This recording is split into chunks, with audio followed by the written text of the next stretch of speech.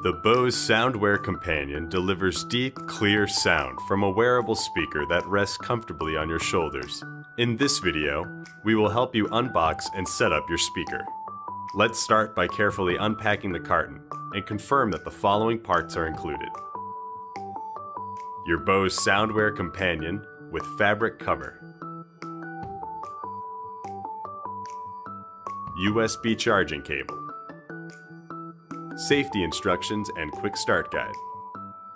On the bottom of your speaker are symbols that show you where the buttons are located.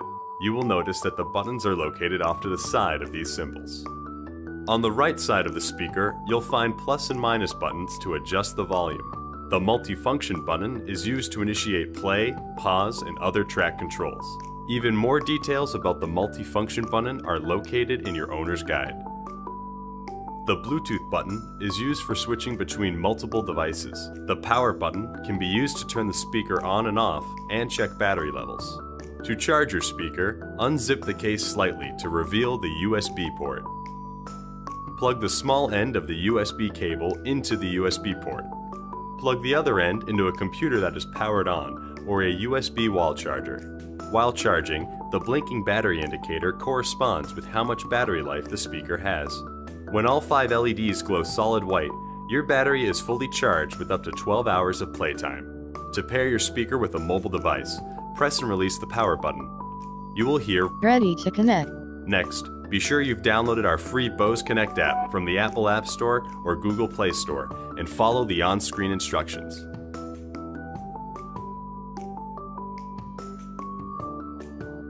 Once paired, the Bluetooth indicator glows solid white and a voice prompt will announce the mobile device it's connected to. Connected to Nick's phone. Now you're ready to enjoy your music hands-free and ear.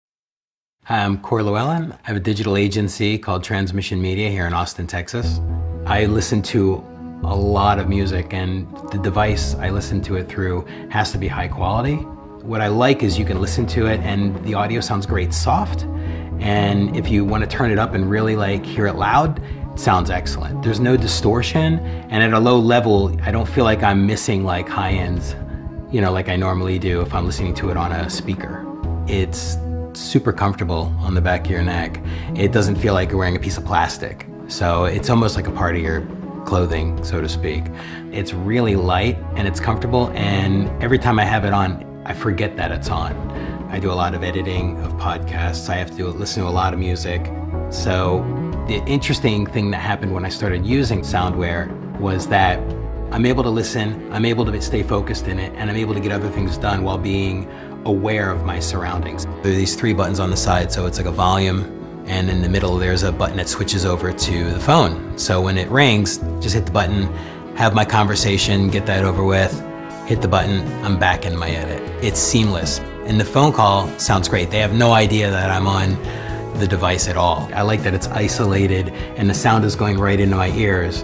Uh, so I could be like five, ten feet away from a person and they're not even turning their heads. You know, and in my day, I have so much I have to do between, you know, 6 a.m. and 3.30 when the kids get out of school that it's, it's just about getting that time back, getting to be with my family. And really, I like having something that works with my schedule.